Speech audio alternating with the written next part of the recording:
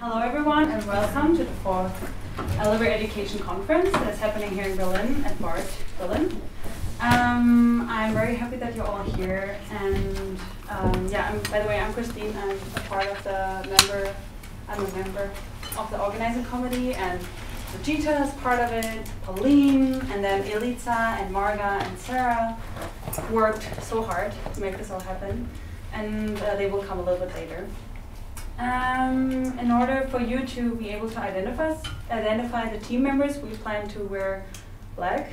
But now that I, I assumed it would be nicer outside and people would be more colorful, but now we're all wearing black, so I guess just look at the name tag and identify us this way. Um, yeah, what else? I think at this point it would be nice to um, mention the sponsors who also made this all happen, made this all um, yeah, which is the Bard College Center for Civic Engagement, BCB. Thank you that we can host the conference here, and Ecolas, and also uh, thank you guys for um, sending the proposals and working on your papers. And now I just uh, hope that we will have a lot of good conversations together, and um, of course respect each other in every way. Uh, yeah, that's it. I think now we can I can give the word to Suchita.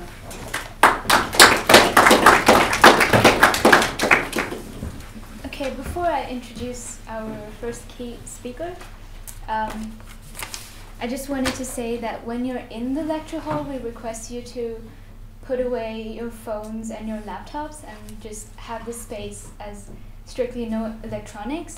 But if you want to refer to the text, we have photocopies right here. And if you want to make notes, we gave you all these. But if you didn't get them for some reason, we have more.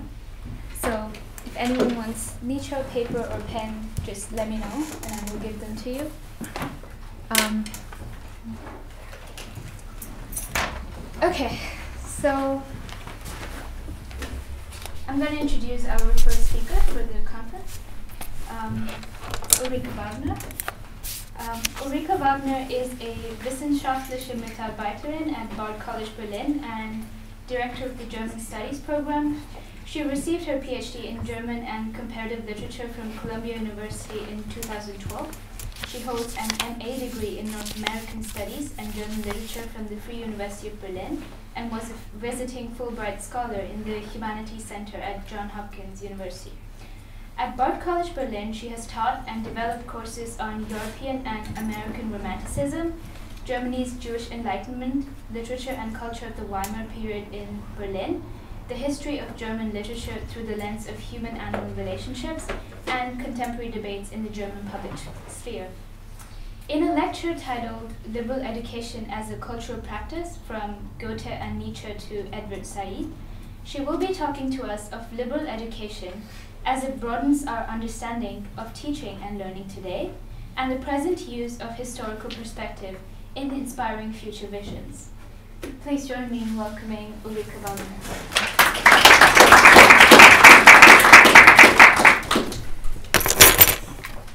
Thank you very much, Suchita. Uh, my cell phone is on airplane mode. I just I, am using it as a um, as kind of a watch. Um, I have a I have a handout for you. Just pass this around. We're going old school here, so you can take notes while I'm talking and follow along the citations word by word. I always find that very useful.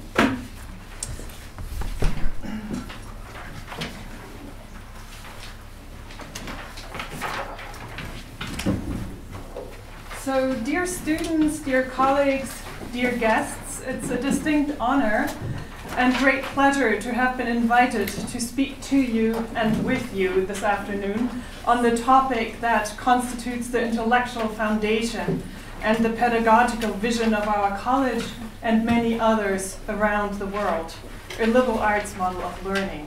Thank you, Marga. Thank you, Sarah.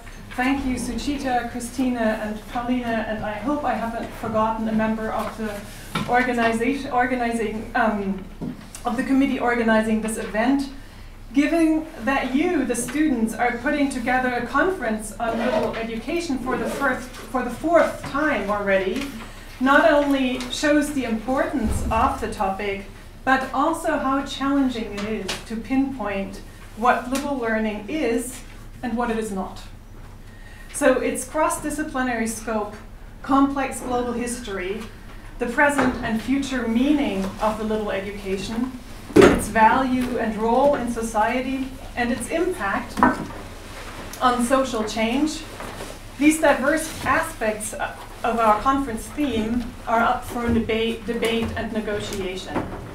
I believe, however, that there's no better way to serve the idea of liberal learning than by doing precisely what we are doing right now, treating it as a model of teaching and instructing that we best do justice when, it, and when examining it, its past as an open one, and by discussing what liberal education means for us today as learners and as teachers, and by asking what we want for the future.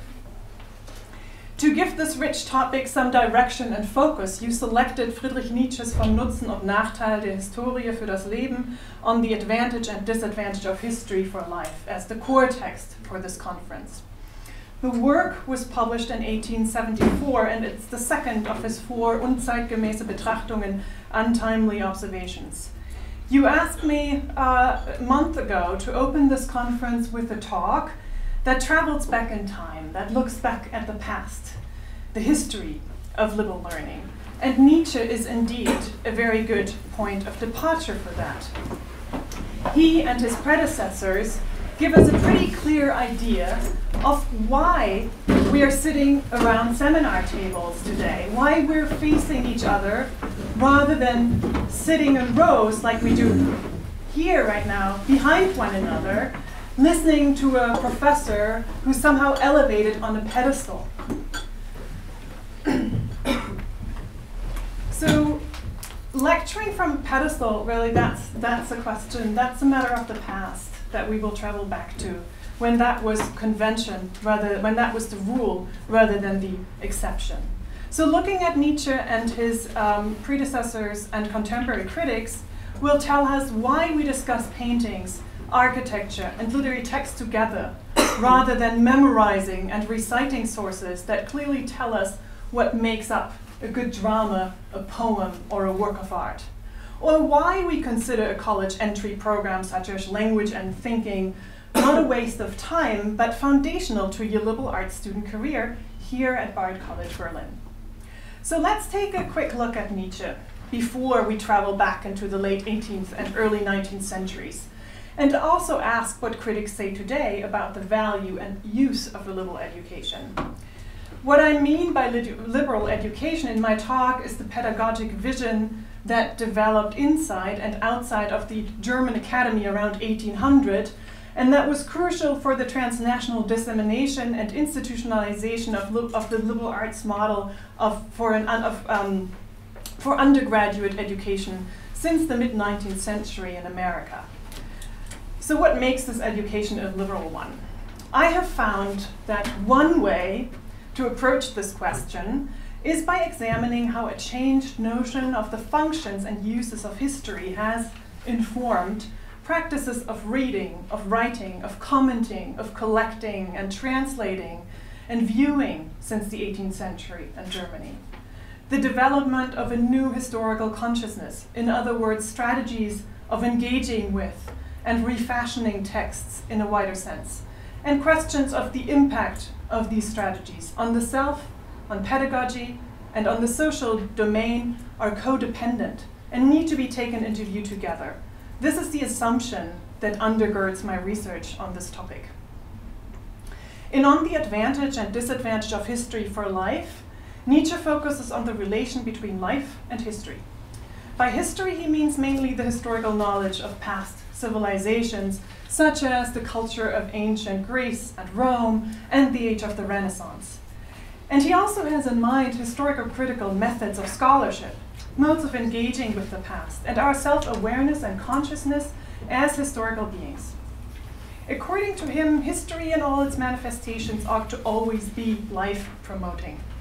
Historical education, he writes, is wholesome and promising for the future only in the service of a powerful, new life-giving influence.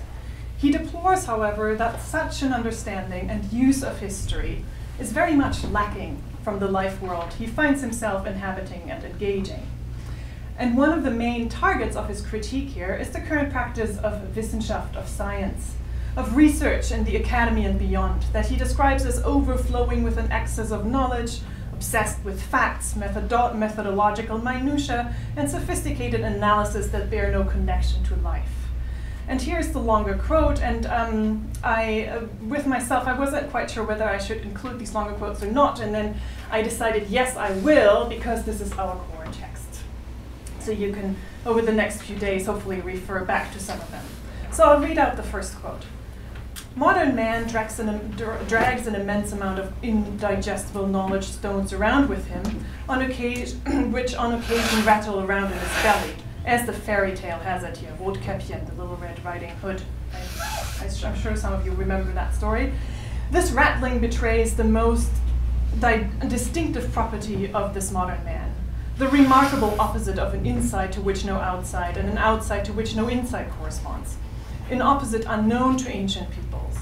He may then say that he has content and that only the form is lacking, but in all living things, this is quite an unseemly opposition. Our modern culture, and culture is, yeah, Bildung is translated in culture. And I mean, in German, since Bildung is such a kind of distinct term, I just put it in, and, and, and I think it can't quite be translated as culture, I just have it here in, in brackets. Our modern culture slash Bildung is nothing living just because it cannot be understood at all without that opposition. That is, it is no real Bildung at all, but only a kind of knowledge about Bildung. It stops at cultured thoughts, Bildungsgedanken, and cultured feelings, Bildungsgefühl, but leads to no cultured decisions, Bildungsentschluss. So what Nietzsche criticizes here, and in the subsequent, subsequent paragraphs, is that such an excess of undigested knowledge, to stay with that fairy tale metaphor, leads to a disconnect between content and form, inside and outside. Such an opposition exists neither in nature nor in cultures that have developed organically.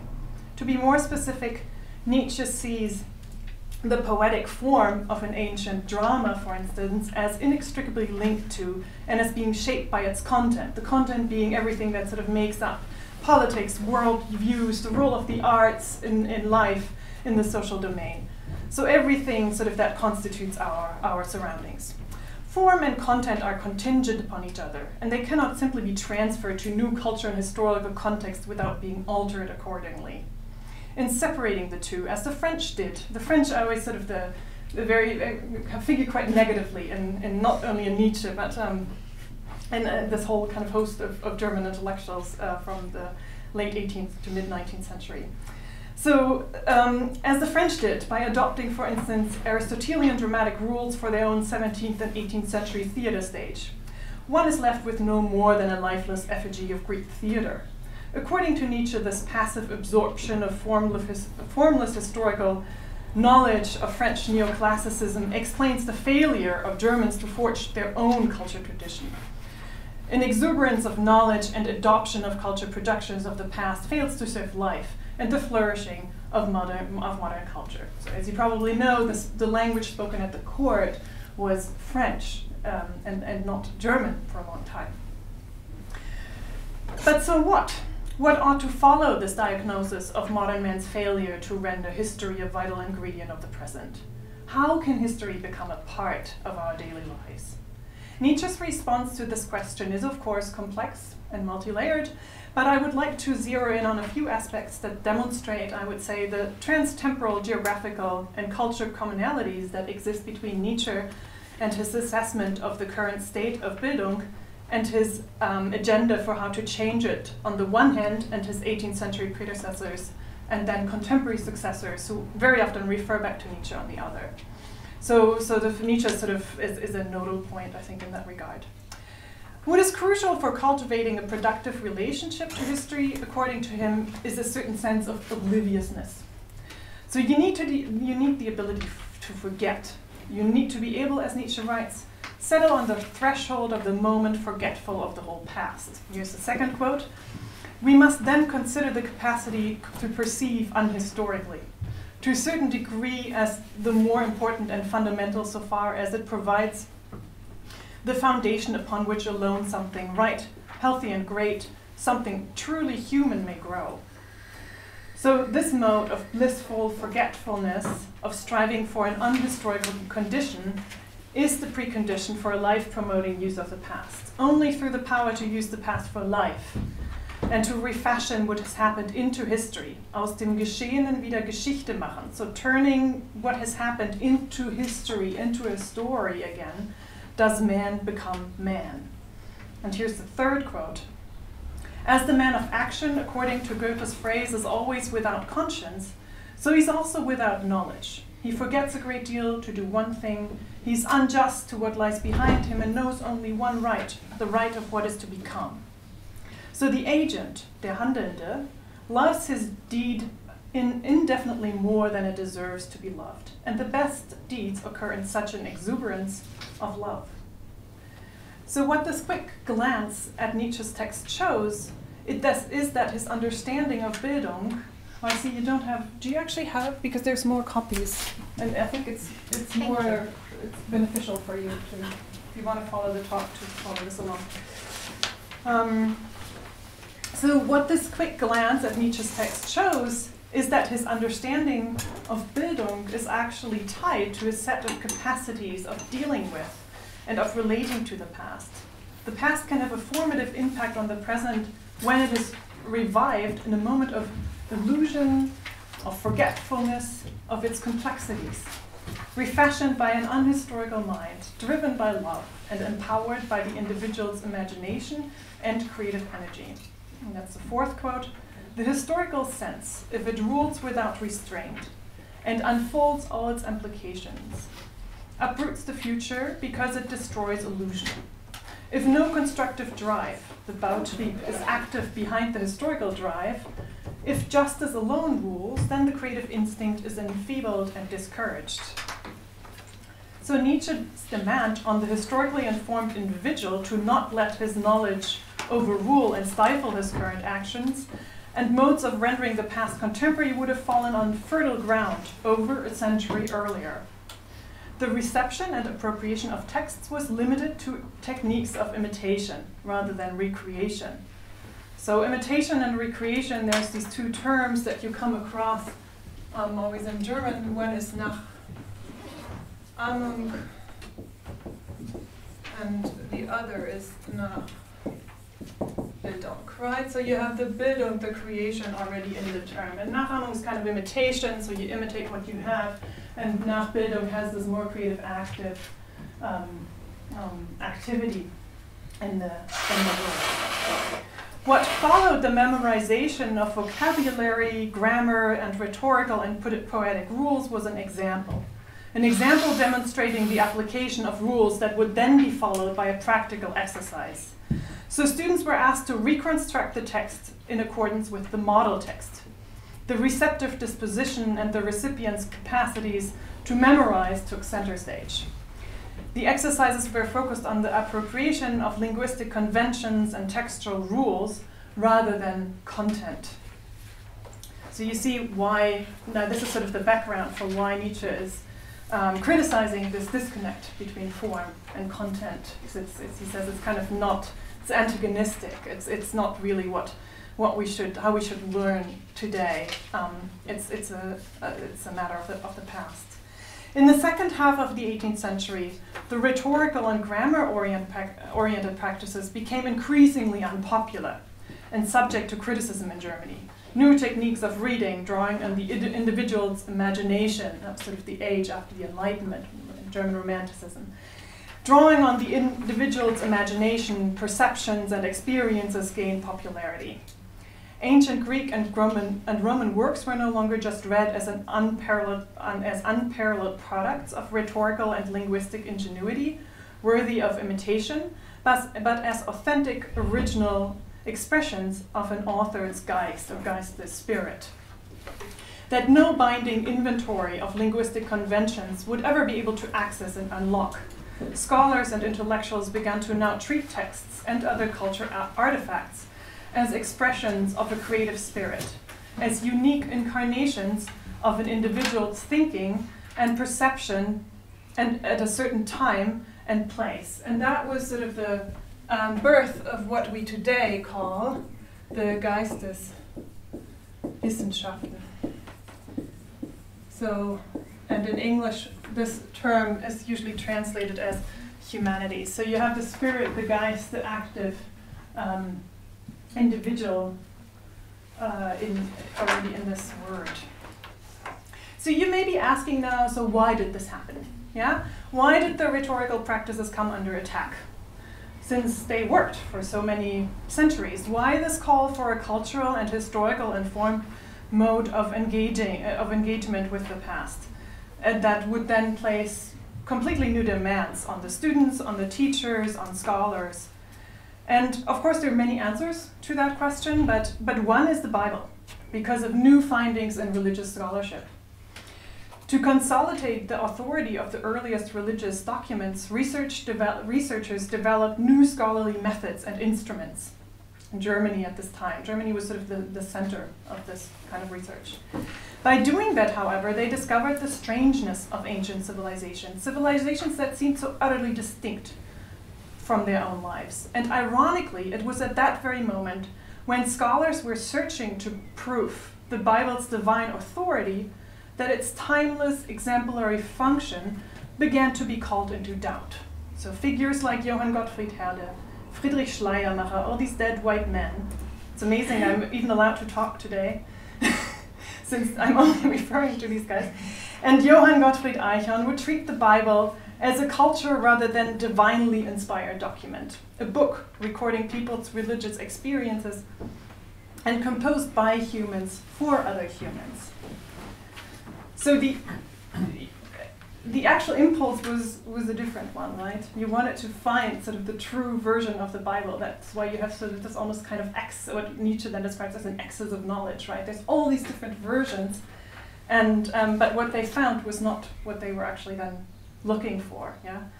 So this changed status of the Bible, its transi transition from being treated as a divine to a culture document, helps you see, perhaps, why the ways in which people would refer to texts from the past changed. If there is no such thing as an original, divinely author authorized text, the way to actualize, to transfer the scriptures into your own time can't be by way of reciting and memorizing them. Rather, you need to be able, you need to take the text as a point of departure, as a source of inspiration to forge your own religious experience and understanding in your own time, in your own place, your own life. Only by means of such an active reception can religion become a matter of the present, rather than the past, and the text life promoting, rather than a lifeless historical document. The classical scholar Friedrich August Wolf transferred these methods of biblical criticism to the field of classical studies in the Prolegomena at Homerum, Homerum the Prolegomena to Homer. He made in that was in 1795, and he made very similar discoveries with, uh, with regard to Homer's poetry, dethroning its authority while thereby also preparing the path for a wholly new technique of reconstituting Homeric poetry. Wolf suggested that the poetry of Homer is like the Bible, it's a, com a, composite of vastly different text collections stemming from, a, from multiple origins and an oral cultural tradition. And if you want to be as great as the Greeks, if you want to be, if you want to imitate them, you better find new creative ways than reciting and imitating them. So you have to make this kind of transition from Nachahmung to Nachbildung. Because if you see them as unique expressions of a particular time and place, then their authenticity kind of can only be revived if you do the same thing in your own time. So it's no longer just enough to copy. And figures such as Goethe and Herder, and actually most German romantics in one form or another, uh, one of the most famous uh, classical scholars that you might have heard of is Johann Joachim Winckelmann. They were sort of key developers and promoters of this new life promoting textual practice that kind of filled a vacuum of disillusionment, disillusionment with the scholarship on religious and classical texts that the sort of scholarship had created. Because you can imagine that it's kind of quite an unsettling experience if all of a sudden someone tells you that the text you believed was sort of divinely inspired and di directly sort of given to you by God is actually kind of a composition of all these different texts from um, various origins. So that vacuum somehow needed to be filled, and the Romantics were right there to, to do that, to take on that challenge, to take on the job. So, um, Herder's essay on on Ossian and Goethe's essay on architecture, both published in this collection on German character and art in 1773, exemplify characteristic features of this new historical, critical, as well as creative poetic method. And in this excerpt from an exchange about the letters um, about Ossian, uh, sorry, I don't have a translation of this, that's why it's um, in German on your handout. Um, criticizes uh, Michael Denis' poems as an example for a failed translation. So um, he, he took a he took an, um, a translation and said it doesn't from from his time period Herder and said well that doesn't work because it doesn't sufficiently take into consideration the poetry's original vibrant and spontaneous form.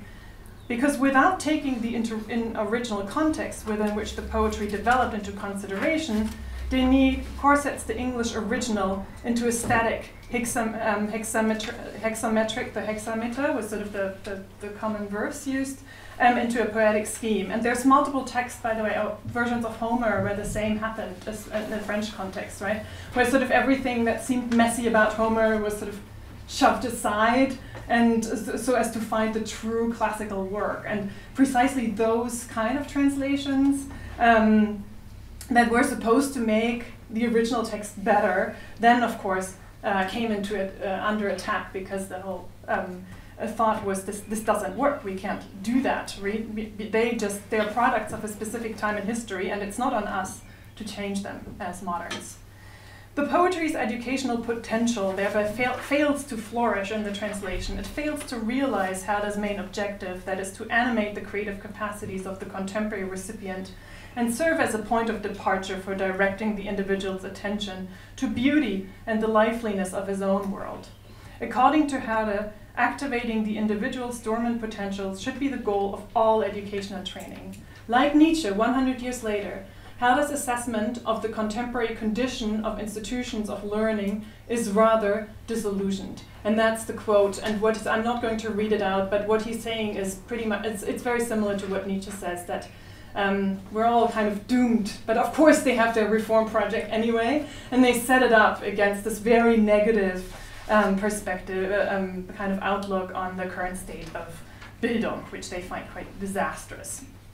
So it seems like not much has changed between Herder in the late 18th century and, and then Nietzsche in the late 19th century. Departing from rhetorical and grammar based methods of instruction, Herder advocates in his essay and a lot of other writings for a new reading pedagogy. And that is conceptualized as a learning process, and as such broadens the traditional Greco Roman text canon fundamentally. What constitutes the strategy's strength is, it, is its inconclusiveness on both sides. So, what makes the text, text attractive in the first place is its open and vital composition, which in turn corresponds to and has a feedback effect on the continuously changing perceptions and emotions of the recipient. Yeah, so that's why in your classes you keep returning to the same text over and over because there's this assumption that the text is inconclusive and so are you as its reader. Yeah? So there's always a new entryway. There's always a new moment that, that you that will um, allow you to, in the reading process, to kind of uh, gain a new perspective, um, a new experience of, of reading. And this is where it's, it's coming from. This is when this developed. Goethe's essay on German architecture trans- transfers that same strategy to the domain of architecture. The piece is normally read as the found- founding document of the German Sturm und Drang period, celebrating the rejection of neoclassicism, the genius cult, and the rediscovery of the Middle Ages. If you look at Goethe's essay in the context of Herder's own programmatic, however, the Ossian essay is the first one in the collection volume, followed by Goethe's text. You notice that Goethe takes his cue here from Herder. He develops a practice of viewing that is in accordance with Herder's agenda. Goethe finds that general categories of taste and knowledge of the details of Gothic architecture do not sufficiently accommodate the experience of looking at the Strasbourg Cathedral. A new approach is necessary that the author of the text first needs to learn himself. And that's the quote number six on your handout. When I first came to visit the cathedral, my head was filled with general notions of good taste. Based on what I heard, what I had heard others say, I praised the harmony of mass, the purity of form, and it was a sworn enemy, and I was a sworn enemy of the confused arbitrariness of Gothic adornment. Under the heading Gothic, as an as in an entry of the dictionary, I listed all the synonyms, misconceptions that I had ever encountered, such as indefinite, disorganized, unnatural, patched together, tacked on, overladen. No wiser than a nation which calls the world it does not know barbaric. I called everything which, I, which did not fit into my system Gothic.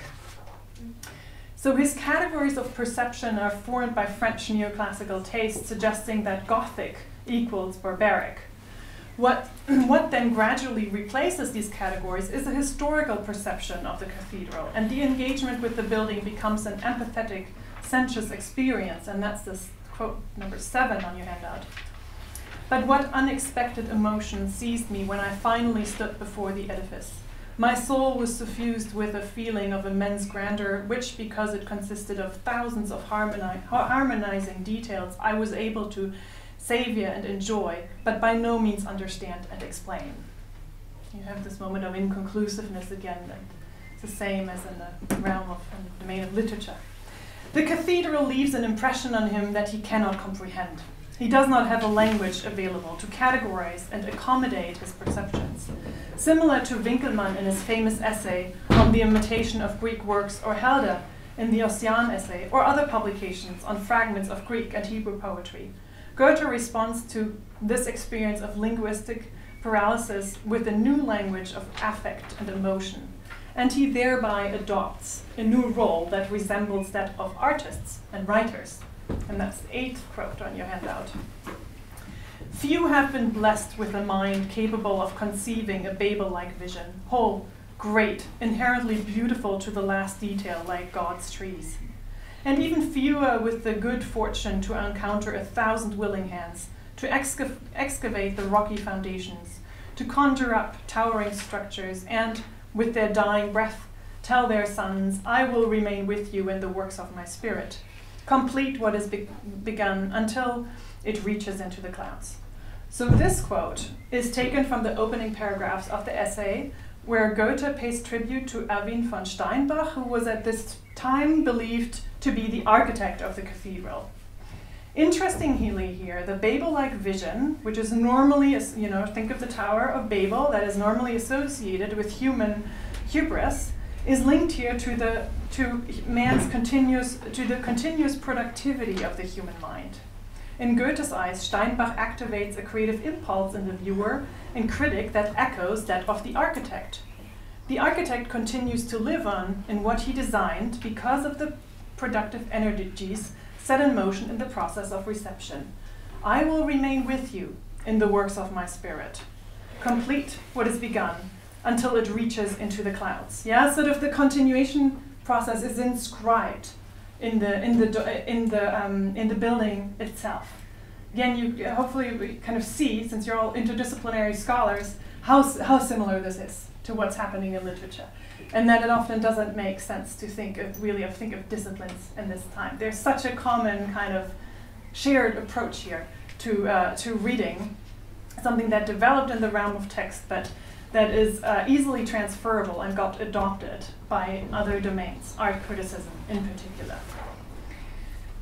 It is illuminating to discuss Goethe's approach against the backdrop of recent critical literature on textual practices, or to use the term often used to designate a wide range of approaches to texts, philology. The practice that Goethe introduces and exercises in some ways meshes with what the Germanist Hans Ulrich Gumbrecht in The Power of Philology considers integral to uh, philological work. Gumbrecht argues that philological activities, that is, the identification of fragments, editing, the composition um, of uh, the composition on commentaries that accompany text, texts, always resemble the creative work of writers and poets to a greater or lesser extent. Translations, collections, and editions bear their author's signature. This affinity between poetic arts and scholarly investigations stems from the fact that any philological practice is underwritten by a structure of desire. And you might know what this experience is like when you read a text and all of, all of a sudden there's almost like a bodily response, right? So you find something and your heart makes that leap and your face blushes and that's kind of that's that's what he calls desire, right? So you want to understand, you want to make sense, you want to kind of create a whole for the time being. You want to write a comprehensive um, essay with a cogent argument. Okay, so um, this affinity between poetic arts and scholarly in investigations stems from the fact that any philological adject, yeah, is, the, sorry, this was a repetition, the structure is sort of underwritten by the structure of uh, desire. Driven by the impulse to render the object and author under in investigation, under investigation present, the philologist seeks structures of coherence between, um, between textual fragments and attempts to give them shape. He draws on his imagination to fill out empty spaces surrounding the materials and thereby exercises power over them. Drawing on the Benjamin philology, Gumbrecht argues that the critic endows the object he singles out over the course of his inquiries with an aura of exclusivity and turns, turns them into sort of semi sacred objects. I would suggest that Goethe does exactly that with the Strasbourg Cathedral in his essay, he seeks to render the building present in a coherent and unified fashion, bestowing a quasi sacred aura on the imaginary act, and usurping thereby the place of the architect, the creator. So now, when we look at these two, the use of Nietzsche's uh, to use uh, to use Nietzsche's term again, these life-giving, life-promoting engagements with historic, historical works. So uh, Goethe's architectural one and Herder's literary one. It's quite obvious that historical facts and inaccuracies in representing them get shoved aside or ignored altogether, both intentionally or unintentionally. Erwin von Steinbach was, uh, Steinbach was not the architect of the cathedral, and even more significant, as you might have, I assume, in some of your core classes, maybe you came across Ossian before. Ossian's poetry is an ingenious invention of an 18th century Scottish poet. And Haller was familiar with James Macpherson's um, Ossian forgery. And it's hardly possible to assume that someone as well versed in the field and up to date with the latest research as Herder would not have recognized that the poem which Macpherson claimed were of ancient origin, the poems which he claimed were of ancient origin were actually modern, a modern invention. It is therefore quite safe to assume that Herder simply decided to ignore the doubts surrounding the, po the poem's originality. I would go as far as to argue that his pretended ignorance is a conscious act of, Nietzschean of, of the Nietzschean obliviousness that Herder also propagates and practices in other writings. There are quite a few instances in his works where, he, where obvious mistakes in research, sloppiness, generalizations, conflations of fact and fiction become secondary matter for Herder the historian. To be sure, he's been criticized for that already by his contemporaries, but we leave but if we leave it at pointing out these so-called failures of research, we miss out on what I think is a very important aspect of his educational agenda. agenda. Sometimes the value of the debates about poems, such as the ones by Ossian, does not reside in their correspondence with historical facts. Rather, Herder is interested in the contemporary use to which history, real or imagined, is put. The life promoting resonance of the reception process and the humanist objectives for which the sources are instrumentalized take center stage, and their factuality and questions regarding their actual origin come second. Herder emphasizes the culture critical functions of Ossian's poetry in, in his essay and discusses at length how they countermand and impact contemporary notions of taste and artistic standards. So it fit, they just fit really well into what he wanted to do. And that's why he decided to ignore um, their actual sort of modern history. Herder's writings of Winckelmann, by many, and Winckelmann, you, I assume that you maybe you read his famous essay on the on the imitation of Greek artworks at some point. Um, and he's, he's by many considered the founder of, of art criticism. Yeah, he's another, this, the writings by Herder on Winckelmann are another example for that. To be sure, Herder does not refrain from criticizing the mistakes and the historical distortions in Winckelmann's writings, At the same time, however, he recognizes that Winkel, what Winckelmann has done for the humanities, what his research has contributed to developing a completely new way of engaging with art, architecture, and poetry. Moreover, he measures the value of Winckelmann's work by the extent to which it has helped him take on the unfolding and cultivation of his selfhood as a lifelong project. So his primary interest lies in illuminating how Winckelmann uses his immersion into a bygone era as a vehicle and solid point of orientation for his own self realization. Interestingly, in light of the determination and success with which he makes use of the ancients, it is not a pressing concern for Herder that these reconstructions are imaginary ones. He is interested in how Winckelmann puts historical considerations into the service of a humanist project of self formation. He supports and authorizes Winckelmann's idealizing reconstructions because they help him find a place in the world. Furthermore, Herder proposes that Winckelmann's mode of putting his scholarship into the service of his self fashioning left a major impact on the history of the discipline, the discipline of classical studies. The classical scholar Katherine Harloe suggests, suggests that Winckelmann's role in the disciplinarization of the science of antiquity exemplifies the centrality and contested nature of humanist considerations in German debates. Winckelmann, with his highly idealized and aestheticized views of ancient Greek culture, has the status of a founding spirit in the university discipline of classical studies, Altertumswissenschaft. His seminal position, however, is not so much due to the enduring value of his scholarship, but rather to the exemplarity of his life. In other words, it's the co close connection Winckelmann fashioned between his life, his character, and his scholarship that earned him his lasting reputation as a founding figure of the field of classical scholarship. And this is really something that also classical scholars are only sort of really acknowledging now. This is really um, up to date research, um, and, and we'll get to why, why that is, why it's been ignored for so long. Sort of the link between character, between kind of the self fashioning of the scholar. Um, and and how he how what kind of an impact that leaves on a on a field on discipline. Reviewing critical literature and documents on the history of the discipline of classicism and philology, Harloe draws into focus the pervasive and lasting impact of Winckelmann's imaginative orientation toward the past, and the paradigm shift that um, classicism began to undergo during Christian Gottlob Heyne's tenure at the University of Göttingen. Heyne was a very renowned classical scholar and an archaeologist at this time. Echoing Winckelmann in their research and pedagogy, Heyne and his former student Friedrich August Wolf, professor of philology and pedagogy at the University of Halle, and Ulrich von Wilamowitz-Moellendorff, professor of classical philology at Göttingen in the late 19th century, and former fellow student of Nietzsche and his rival, um, they studied the ancient past holistically, kind of did what Nietzsche asks for in his, um, in his text. Rather than promoting a narrow, exclusive, text focused approach, they consider Altertumswissenschaft as the study of Greco Roman civilization in its essence and in every aspect of its existence.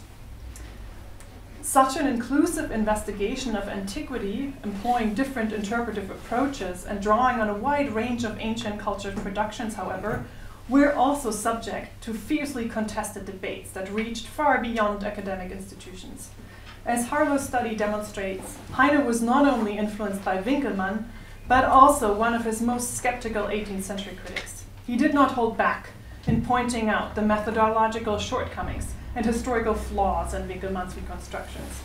Heyne found fault with his overactive imagination, and, becomes, and it becomes obvious that the two had very different ideas about the limits and permissible interpretation in the, in the project of reconstructing antiquity as a whole.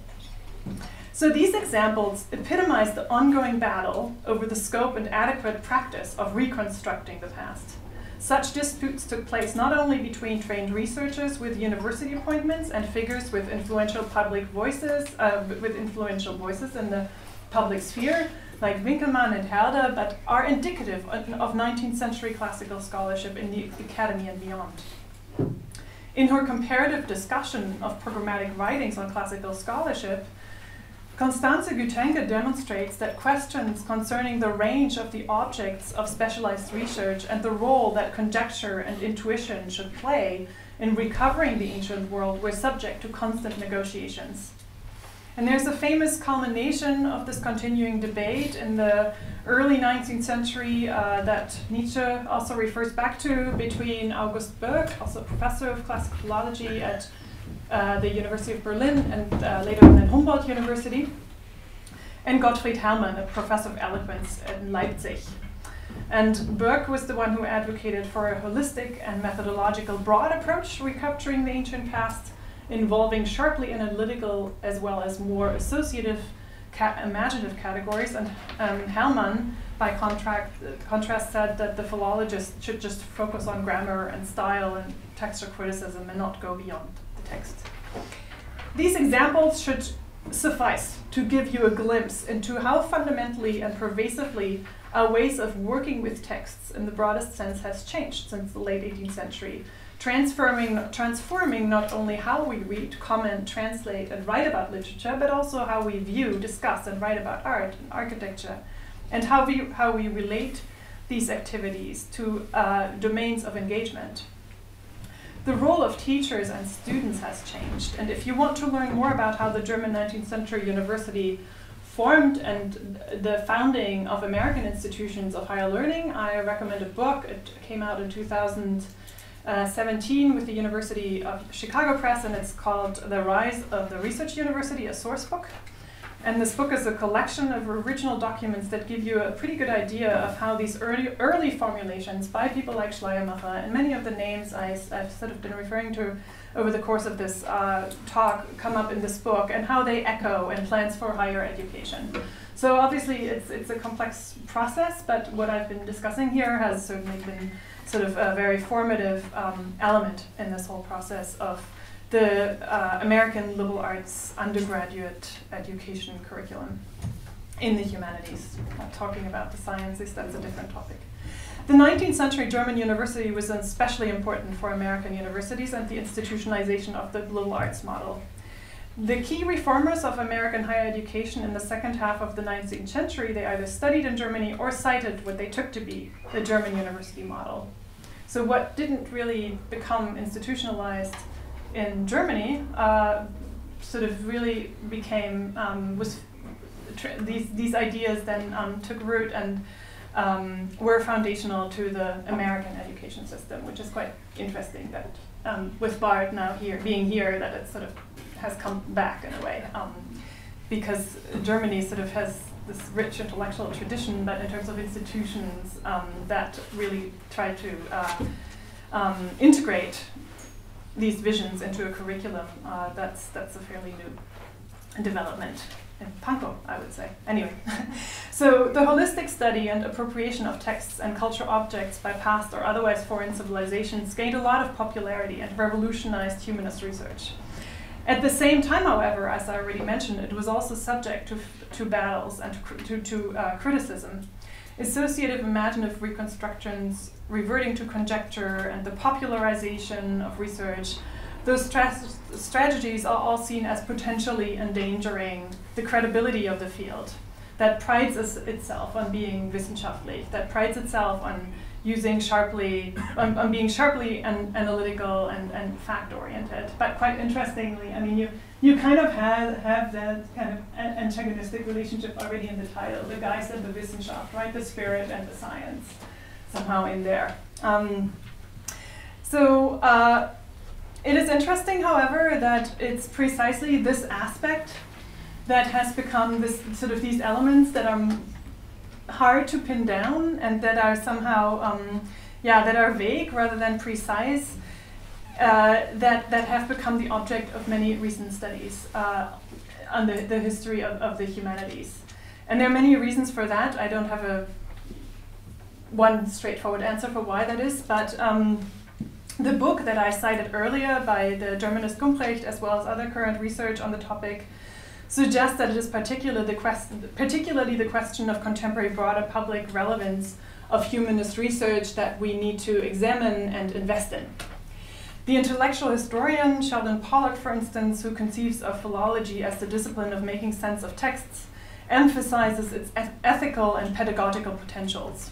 When practiced comprehensively, philology makes available to us different conceptions of what it has meant to be human, and it helps us cultivate solidarity, self awareness, and a pluralistic understanding of truth.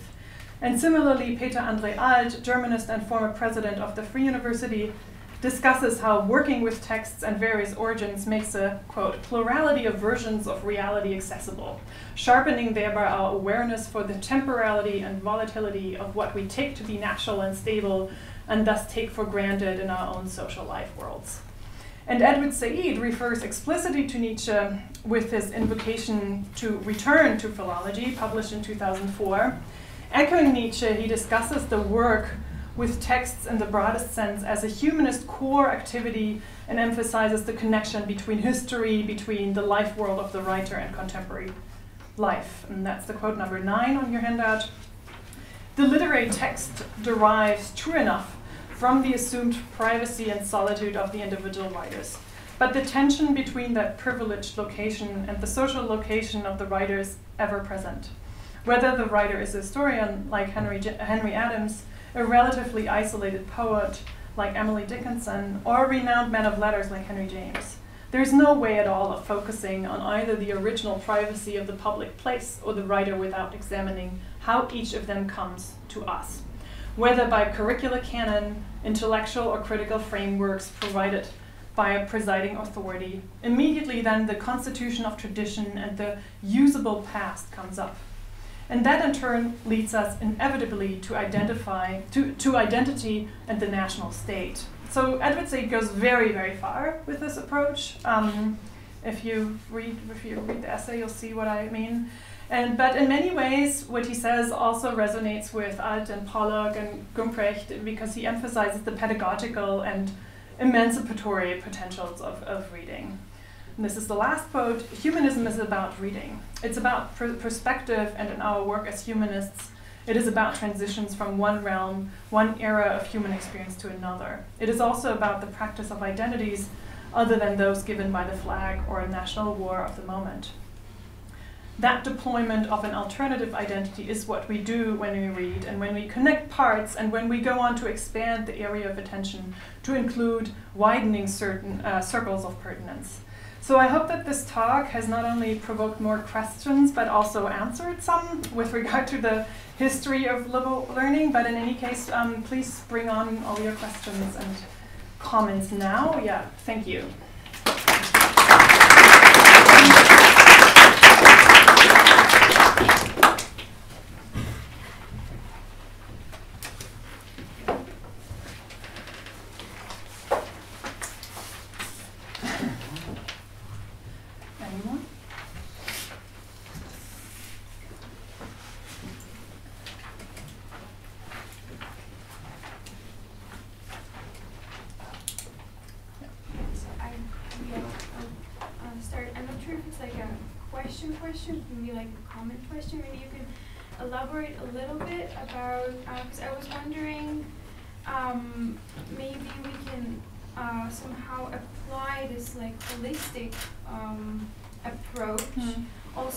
Contemporary art, and maybe um, especially in contemporary art and maybe maybe we can refer to um, like researchers' practice, uh, mm-hmm. like the, the, somehow the combination of um, like practicing artist um, that is using research mm-hmm. um, as a method of working, mm-hmm. uh, and then maybe there is like a possibility to combine it with um, an academic one or like an this academic approach, this classic one. So I mean, I'm not sure if it's like a really a question or a comment, but maybe we can find like within the text as well, or maybe like the, the specific link between um, what Said is saying and what Nietzsche is saying.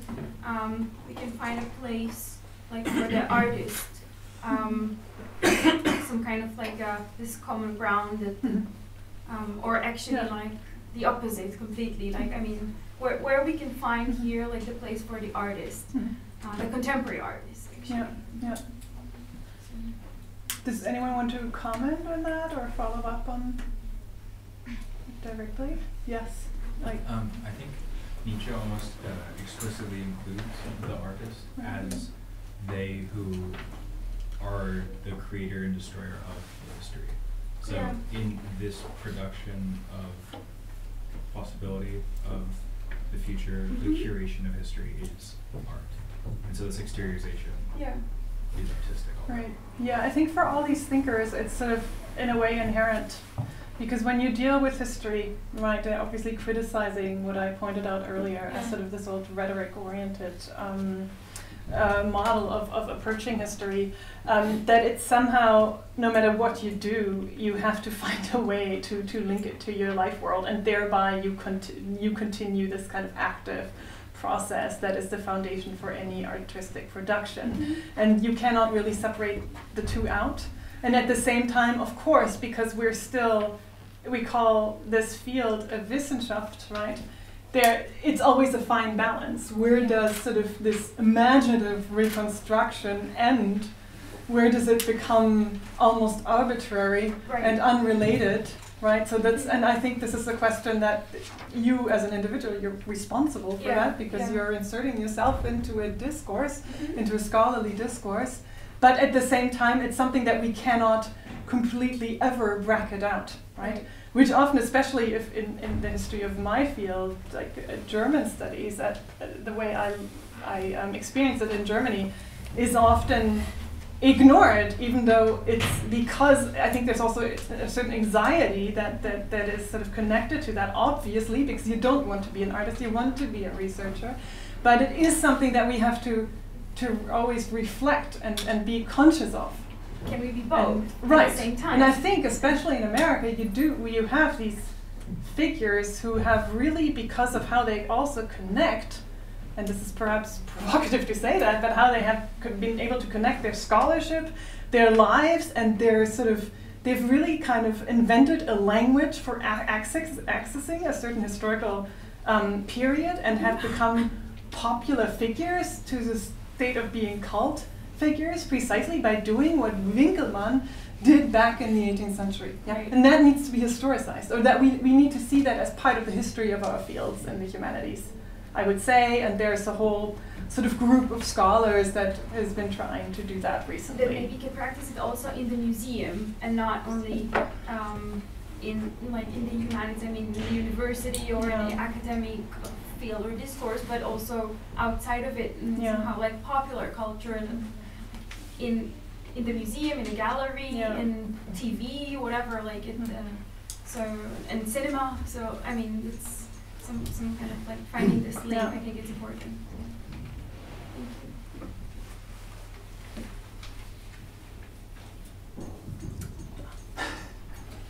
Maybe I can get everybody going. I'm not a student, so I shouldn't go on too long. But um, if you, how would you, how would you react to a, a somewhat, I hope, provocative claim along the lines of you? If you look at this sort of spectrum between, let's say, scholarship and artistry or creativity, Mhm. you see it, you Yeah. know sort of what I'm referring to, right? Um, if you look at that, and then you look at a figure, let's say like Nietzsche, maybe some of the earlier figures that you cited, Herder, um, who were either sort of going against a what we would now see maybe a sort of naive belief in the authoritative text, the original Yeah. text, right? You, the, gave the example of the New Testament, which was which was crucial, um, or who were going against a sort of a dry, positivistic, fact-driven approach to uh, the sciences in general and philology in, in particular, which is part of what Nietzsche was Yeah. rebelling against in Yeah. Basel, right? Um, the the claim would be, well, isn't well, the, the, the question would be, aren't we in sort of the, the, the opposite of that of that uh, phase historically? If you look at uh, the sort of continuities that are being created within uh, scholarship, what you were just referring to, and maybe the dangers that that might uh, face, and then more sort of globally speaking, if you're looking at you know anything from fake news, as to Mm. per- perhaps sort of Mm. uh, facile claims to the relativity of, of knowledge, right? Mhm. Um, isn't the danger sort of the opposite now from some of the stuff that Nietzsche or Herder was uh, facing? Well, I think that's. So do we need less Mm. creativity and more sort of dry scholarship? I guess is a stupid way of putting it. but you know what I mean. It's funny because I think it's a, this is a really good and smart question, and I, I was actually thinking about this whole fake news debate um, as I was preparing this this talk, and I, think again with regard to Nietzsche and Herder, yes, we need to historicize and see where they were coming from at this point and what, what was happening at the academy and outside of it, where really there was this excess of knowledge. There was all these facts but it wasn't interesting right? It was a constant accumulation of knowledge but no story kind of created with that. And that's how they developed sort of their stance on it. Um, and by the way this is just a footnote but what today we consider disciplines at this point didn't really exist that really happened in the late 19th century when nietzsche was writing that people like herder wouldn't probably today, not maybe again today, but not hardly get a job, right? Because they were so prolific, so active in so many different fields. Wouldn't you make that distinction? That's by the way, that's why I also keep stressing that art history and and and literary scholarship and um, looking at artworks that they were so interconnected also with regard to their methodol- methodologies that today when we talk about interdisciplinarity um, we actually need to also look back into what happened prior to disciplinarization. Okay, so this is not was not a this is just kind of a comment that I think is relevant um, to contextualize and historicize uh, the, the the 18th and 19th century. And with regard to today, um, I think in the there we perhaps need to distinguish here between the public domain on the one hand and what's happening in the academy um, on the other. And here I, I, I do think that we need to become more aware of how arbitrary and how yeah, kind of ahistoric, ahistorical almost in a way, our rigid disciplinary divisions are, right? So when we keep insisting, oh, what I'm doing is so different from what is happening in art history, that we need to somehow overcome that or really see the the connections without stepping too much on each other's territory, but um, think more interconnected and see that this is historical and this is not a fancy modern invention that we've come up with and we think, oh yeah, we are so um, we cross boundaries all the time. So in that regard, I don't think it's really the opposite of what happened uh, in the 18th and 19th century, but more um, uh, kind of reinvigoration and, and, and rethinking of our hi- own history in the humanities.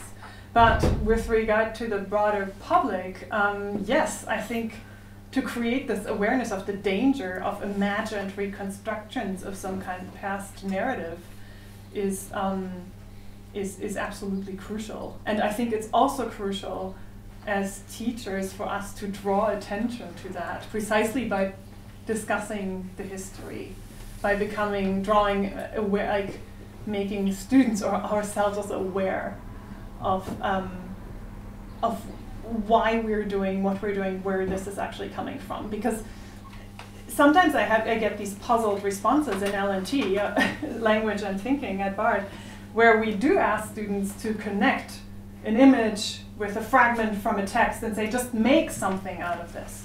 Make fashion these connections, right? And this is precisely, I would say, in a way, what these critics in the 18th century ask for. Like, do that, but at the same time, be aware of what you're doing and what your limits are, and be a responsible scholar as well.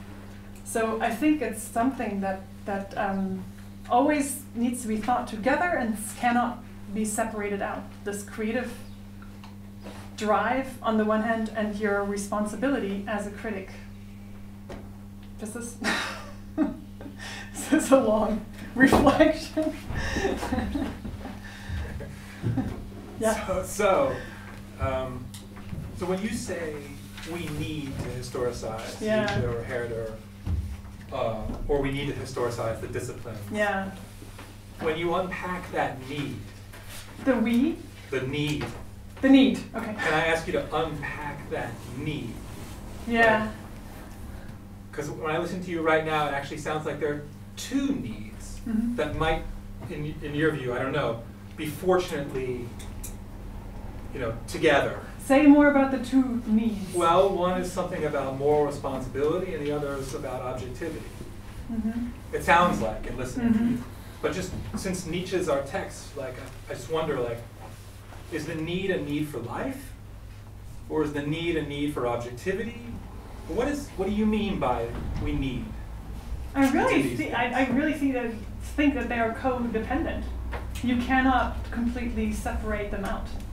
I I thought, and maybe this is totally wrong, that what you were saying was that there's sort of this big divergence, which I think is true between, and this is you know something that people like Weber said a long time ago about you know modernity and, and, and enlightenment in general, right? This big divergence between um, more and more knowledge, but specialized and to some extent isolated, and we don't Yeah. really explain it, although we can't really explain it, although we use it all the time. And on the other hand, this sort of resurgence and, and overwhelming power of myth making everywhere, right? Including all sorts of false narratives, but Yeah. also things that are not straightforwardly false. And that maybe um, sort of the job of the liberal arts is to, uh, first of all, mark that that situation as something that needs constant um, self-awareness and, and also sort of correction on both sides, right? So that some some people do that by by making uh, education less um, on the side of just the sort of amassing of, of technical knowledge, and others do it by uh, popularizing, but each is Mhm. dangerous and can fall into its own uh, traps, especially the popularizing, right? It can become another type of myth making. So that, that it's not Yeah. exactly the same challenge, but it's also not two separate ones. That's how I understand. No, you're absolutely right. I mean, I just um, I, I was surprised. A, a friend of mine sent me uh, the biography of someone who was just recently hired at a major American research university, and I looked at this woman's profile and I was amazed. I mean, how she is an artist and she is a performance artist and she writes poetry and she's engaged in all these theater projects. And this was for an assistant professor position, um, and also has publications, but it's sort of this this completely new profile, you know, that even a few years ago, I, I maybe I was just blind to it, but I, I hadn't encountered it before. So I thought, well, this is obviously there's a change here. They, they, a major research university is hiring someone who's also an artist. And when I was a graduate student, this would have al- almost maybe this was this conservative department, by the way, it was it would have been completely frowned upon. Saying like this is no, we're we are scholars, like that's a different domain. Yeah. Um, but Tanya, you wanted to say something. Um, I would just, since we're on the topic of historicization and the kind of the need to um, source these these different ideas about disciplines, um, I'm also kind of, I guess, trying to figure out where you fit in then the fact that a lot of liberal education, even with disciplines, actually developed much earlier before Nietzsche was writing, before Said was writing in the Indian subcontinent and in North Africa, in what we know today as the Middle East, where they had legitimate learning centers that attracted people from around the area and they developed these ideas um, far before, as you said, these dead white men were writing, Mhm. right? A- and I, so I guess I'm trying to figure out where that fits into the equation of historicization of these ideas Mhm. because I, from what I understand, also these centers had developed disciplines and had Mhm. kind of uh, developed very um, uh, strong programs to do with liberal Mhm. education and astronomy and the Mhm. humanities and arts. So I'm just trying to contextualize that. Well, I think there's a research topic. yes, it is Um, absolutely. Because, you know, actually, there's just this book that I cited, published by one of the most respected presses, University of Chicago Press, that really stresses that, that German um, sort of connection. And since I am, you know, where I'm coming from, from this German context, and I've sort of done all this, this research from sort of the German um, context and then reaching to other European countries and, and North America, uh, that I think would be another project that, that needs to be that I know unfortunately close to nothing about. What was happening on the sub-Indian continent, I once had a student who's here, Maria Khan, who uh, did some research on that, I think, back then, and who taught me a lot about um, poet, poets from from Pakistan and other countries who were influenced by uh, German, also German Enlightenment thinkers uh, from the Romantic period. But I think that would be a really important project to put that into dialogue or to contextualize what we see as a very Euro-focused um, model of, of education. And I would be happy if you can send references my way. That's what I have to say about that. yes. Um, could you uh, the question you were asking about? I did a project that is similar to what you're asking about. Could you repeat the question? I was just kind of asking like how you can, how like how do we then fit these narratives into the history? Because so far we've been looking at the 18th and 19th century, but Mhm. so many of these centers existed in the 12th century and the 10th century. So like where does it fit in into the global narrative as well? Oh, yeah, I mean, yeah, I mean, I don't know quite, uh, what I looked at is, um, things, uh, de- developments in like Islamic golden age and, um, you know, uh, like Avicenna and, um, another philosopher, uh, Al-Ghazali and, uh, Al- Al-Farabi and, um, yeah, they also had a very, uh, the way they looked at the world or like the way, the things that they looked at in education were quite similar to how we view liberal education even now and, um, the kind of models they used about, uh, um, you know, as- astronomy, and uh, he had a one of them had a, a hierarchy uh, of kind of the way he described the sciences, and that's yeah similar to that.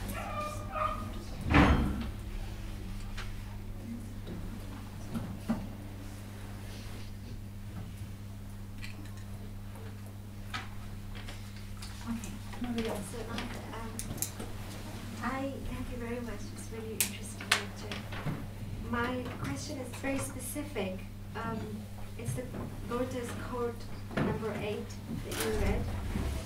And so I was a bit lost about what's the new what's the new angle of reading which he is hitting upon. Mhm. I didn't, I didn't quite, where you said, and then you said, this is what we do with literature, and Right. that it has to, and I was wondering, what's, is it a feeling of awe that, or wonder, or? hmm So, I mean, he he traveled. He was in Strasbourg with Herder at this time, in in the uh, late 18th century for a while, and um, he what he describes in the first part of, of the essay is sort of that refers back to that first quote, the, the the previous quote, is that he sort of he thinks in these neoclassical kind of categories of aesthetics and cannot accommodate Gothic archi- architecture.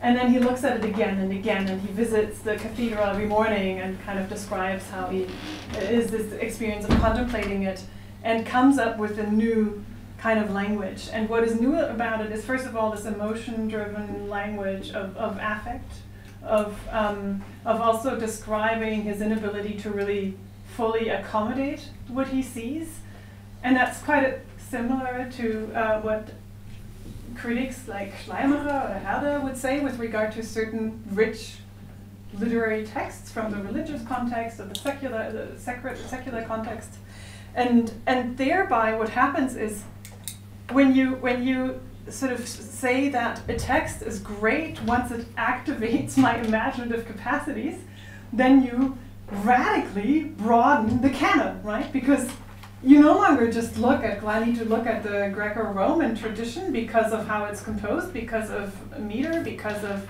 topics, but you completely shift um, the emphasis to kind of new standards of value and taste that become open, and that's also something that that then then you kind of find in the history of in the intellectual history of. Um, of, of, of the humanities, the broadening towards the opening up of the canon towards modern literature.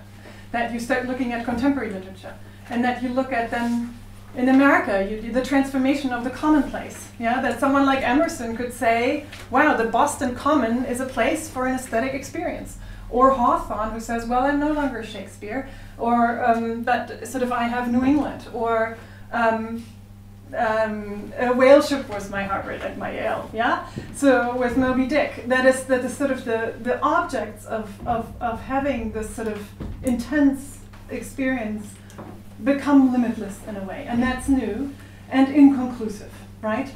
That he says, and since you directed my attention again to this quote, complete that what is begun until it reaches into the clouds, right? So he puts himself into the shoes of Stein, um, what he thought was the architect of the, of the cathedral, Erwin von Steinbach, and thinks that he also sees this as an inconclusive project that is beyond his control, right? And as we also know from writing our own texts, they escape us to a certain degree. Um, Emerson would say, sort of, my own words return to me with a certain alienated majesty. Yeah. So you think, when you read something again, whether it's a work of literature or your own writing, you return to it and you see things in a different light. And that's the same with great work of literature, depending on when you read them in your life, they have, they have a different meaning. And that is new, right? I mean, that's, that's very different from saying there's a very set canon that we teach, that we read, that we memorize. Yeah, that's what I mean. And that's where I see sort of the links to, to, uh, to other fields. Does that clarify things a little bit? Yeah. Yeah. I was just kind of thinking about what you were just saying then about the kind of relaxing of the canon and what you were talking about before about um, like recruiting members of academic staff who are also artists. Yeah. What do you think that means in terms of like the accessibility of academia? Because obviously Mm-hmm. traditionally the academic world has kind of existed in its own bubble and it's just like scholars Mhm. talking to one another. Do you think that that maybe facilitates more of a conversation with the public, including people who perhaps are normally excluded? So I think that is that is sort of the um, the ideal, well, the ideal idealistic perspective on it, and the more practical, the more pragmatic one is that the humanities obviously have a problem with declining enrollments. And that they try to make these fields attractive. And, and for young people like you, we want to attract you. you we want to um, show you that what we're doing is, is uh, valuable and there's connections to your own life and that you um, can learn something, that you can profit from, from what we're doing and that uh, all your artistic interests are also accommodated in one way. I think that is one reason for, for why major universities are hiring people with these kind of profiles. By the way, I mean, just because it's, it's more um, driven by university politics, that doesn't make it a bad thing at all. I mean, I'm obviously believe in what I'm doing, otherwise I wouldn't be standing here. I would have chosen a different profession. So I think there is uh, intrinsic value to that, absolutely. Um, but we have to, we cannot take it for granted. We have to somehow um, do what we're doing right now, talk about it. It's not something that is sort of automatically, I think, agreed upon, given, and, and clear. But I mean, this is what your conference is there for, I think, to precisely talk about that among many other things. This, what do you think? Yes? Maybe? Can I add Yeah. Can I to this? It's very interesting. Who asked this question? It's very interesting you asked this question because uh, it's connected to ownership of knowledge. And that's a very Western con- concept because knowledge is owned. So a text is owned by a person or a story or a narrative is owned by a person. And so I've just attended a session on repetition and this idea of Nachahmung in non-Western cultures is so that ordinary people could access materials which were very sort of the classical text. I mean, we there is there is ownership of ownership of knowledge also in non-Western context, but it's less and less so. So the printing press and the idea that knowledge, like Nietzsche owns this text, is very much a Western context. So the opening it up to ordinary people and lay lay people is difficult in that sense. So I mean, I've summarized something that I've heard elsewhere, but that's my take. It's very interesting.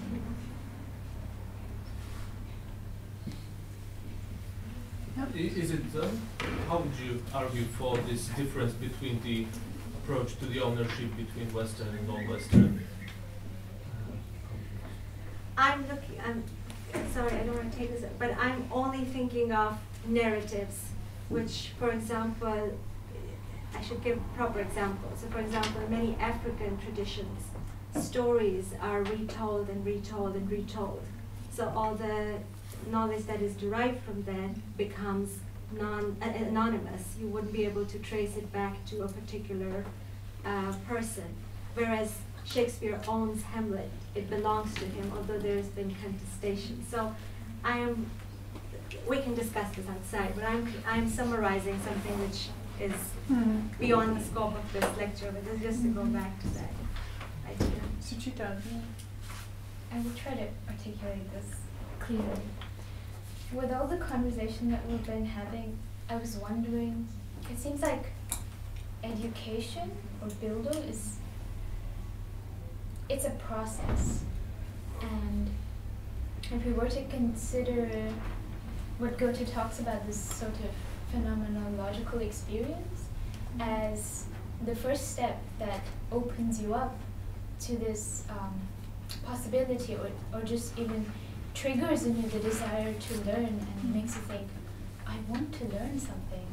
I was wondering, and then if you if you if you think that the relevance of associating a particular text or whether it's art or literature to a certain historical figure or time comes later. But in this initial experience that you after which you go in completely blind and vulnerable what is the role of the teacher? Well, I mean, I think the, the modern role of the teacher is to be more of an assistant to a certain degree. I mean, if you if we were discussing a, a Goethe text together, I would obviously ask you first what you what you thought, and would then hopefully in a good class uh, take on the responsibility and precisely negotiate this and kind of balance your imaginative drive and what you think the text is about with my knowledge about Goethe, about his work as a whole, about what place um, the text has among other places, how it has been discussed. I think there are always, in all literary scholarship, there are always these three dimensions. There is the the text as a historical um, as a historical um, object. That emerged, that was written in a certain time, at a certain place, by a certain author. Then there's the reception history, right? Sort of the secondary literature on the text, what people have said about it. Then you can see, I mean, that, that always tells you something about the history of the discipline, sort of depending on whether you read a text from the 60s, 70s, 80s, 90s. Yeah, that the, the responses to that particular text always reflects his, reflect um, historically what was going on in the academy at this particular time, and I would be with that more familiar than you probably because I just studied it more and I, I've sort of done um, uh, that that job for longer. And then our present age, and I think in a good class, I would do I would respond to all three dimensions. I would talk to, about the text and and its reception history. Um, I would talk about the text and its historical context. Would have more knowledge about this simply because I studied that period and would be able to connect it uh, to other contemporaries of Goethe. And then we would talk about it now. Yeah?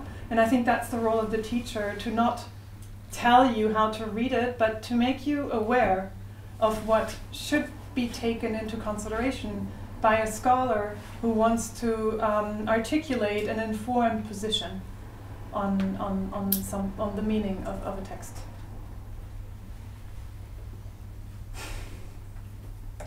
There was something I saw.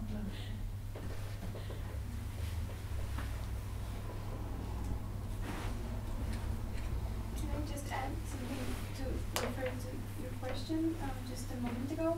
That I think that maybe the role of the teacher can be equivalent to the role of the artist. Um, that not to like to be a guide or like to pose something or like to point at something and say like look at that like I want you to look at that and then not to impose but rather to suggest and I think that these two roles can be quite similar um, especially nowadays The artist. mm-hmm. Mm. They're, like I mean it's interesting to compare the role of the artist and the role of the teacher um, in, in, in this Yeah, I think, but I think, um, well, there's a good saying that says, well, inspiration comes from a prepared mind. That still, you know, you need to know, or at least that's why it, what what you're talking about, and it can't be that anyone can just teach Goethe at a liberal arts college. I would insist, insist that you need a certain training, and you need to know the period, and you need to be familiar with the discourses and it's something that I wouldn't just give to a friend, right? I mean that's why I went uh, who I like and who's smart but who knows close to nothing about a period. That doesn't mean that he or she can't say something about the text, but to teach it, I think you should have. I mean, you should be more knowledgeable. You could should need to be able to um, bring your expertise effectively into the classroom discussion and thereby guide your students. Um, at least that's what I always try to do in my classes.